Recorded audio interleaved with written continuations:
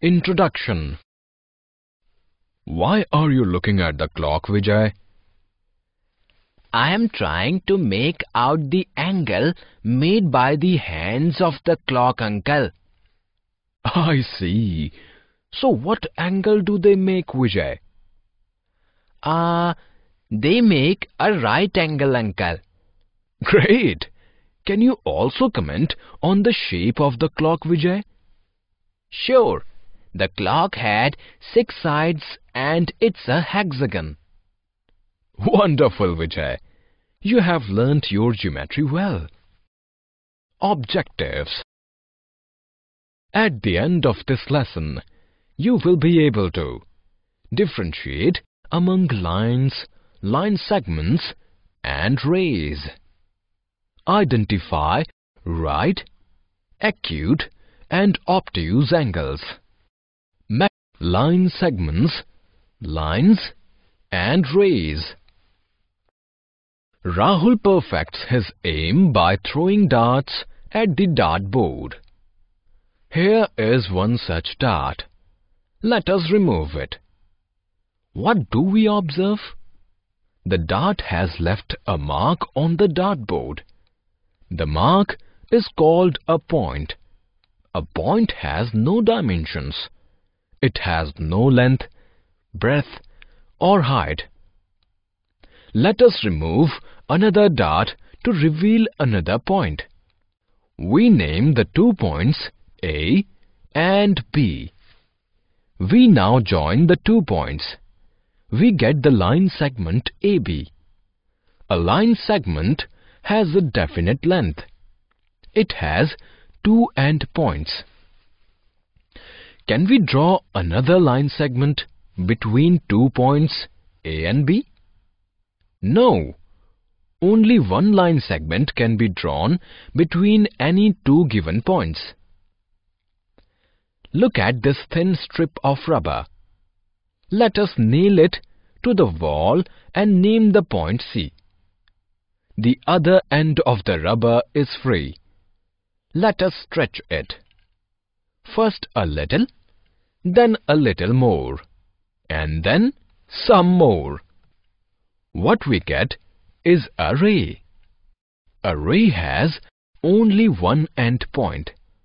It can be stretched in the opposite direction infinitely. Let us now remove the nail and stretch the rubber in other direction. We now have a line, polygons. We can form different shapes by enclosing them with line segments on all sides.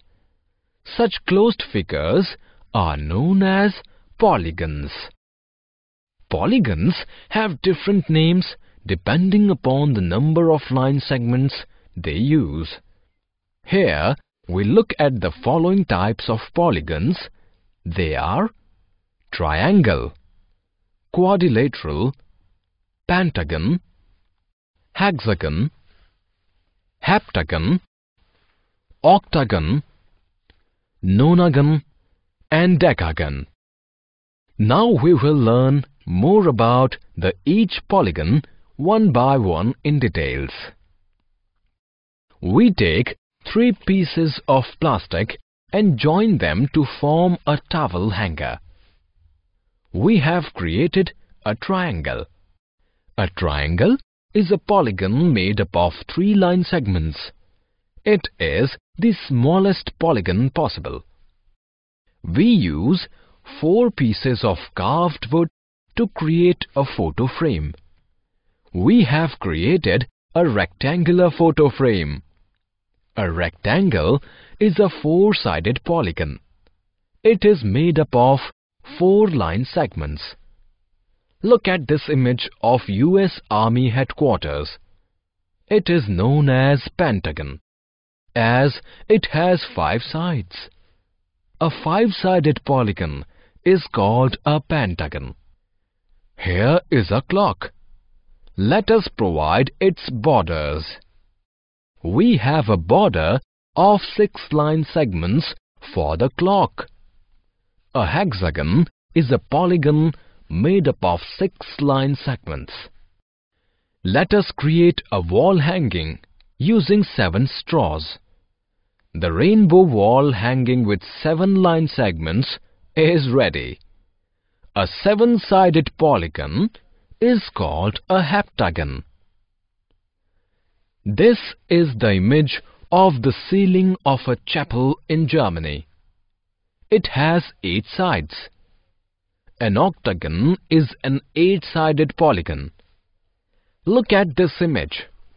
It is the Baha'is house of worship. All Baha'is house of worship have nine sides. A nonagon is a polygon made up of nine line segments. Here is an old $5 coin from Hong Kong. It has 10 sides. Self-assessment Match the items of column A with the items of column B. Angles Any two adjacent sides of a polygon form an angle between them. An angle is the space between two lines, line segments or rays that move away from one another from a common point. The measure of an angle is specified in degrees. Let us take a look at three types of angles. They are right angle, acute angle and obtuse angle. Now we will learn them one by one in details. Look at this scene. In this, a ladder is standing with the wall. Let us look at three angles. First, the angle which the wall makes with the ground. Second, the angle which the ladder makes with the wall. Third, the angle which the ladder makes with the ground. Let us begin with the angle that the wall makes with the ground. The ground acts as the base and the wall as the vertical line.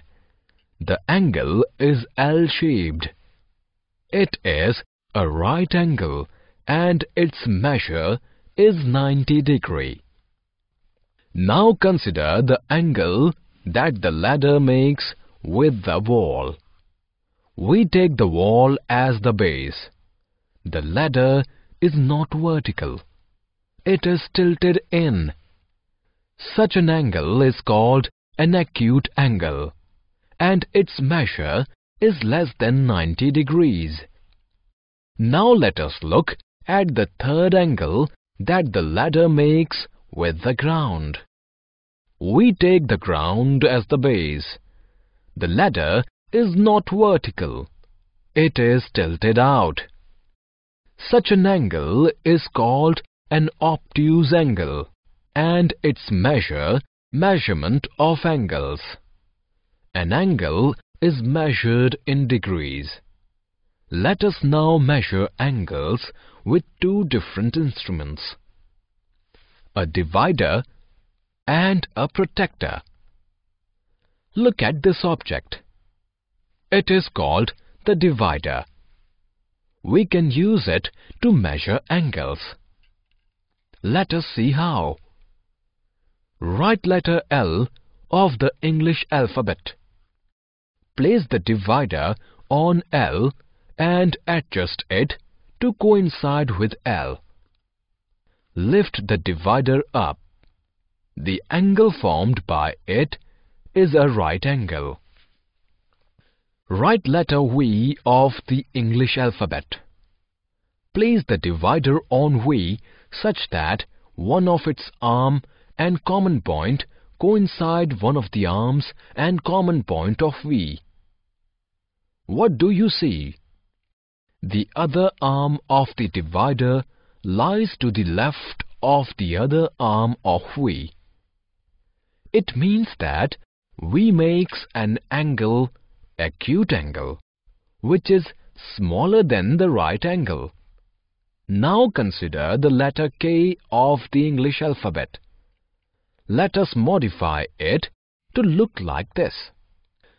Place the divider on the figure such that one of its arms and common point coincide with one of the arms and common point of the figure. What do you observe? The other arm of the divider lies to the right of the other arm of the figure.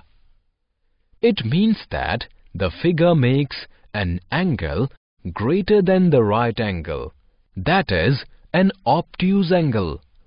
Therefore, we can measure a right angle, an acute angle and an obtuse angle with the help of a divider. Protractor Protractor is a semicircular geometric instrument. It has degrees marked on it from 0 to 180.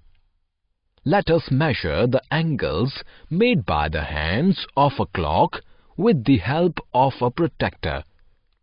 This clock shows the time as 3.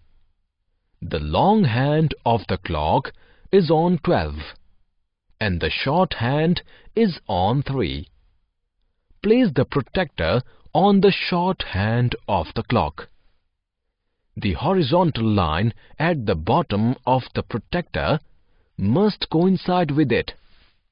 The midpoint of the protractor must rest on the common point where the long and short hands of the clock meet. Read the inner marking of the protractor on which the long hand rests. It is 90 degrees. Therefore, 3 o'clock makes a right angle. This clock shows 20 past 6. The long hand of the clock is on 4 and the short hand is on 6. Place the protractor on the short hand of the clock. Read the inner marking of the protractor on which the long hand rests. It is 60 degrees. Therefore, the time 20 past 6 makes an acute angle. The time is 10 past 9 by this clock.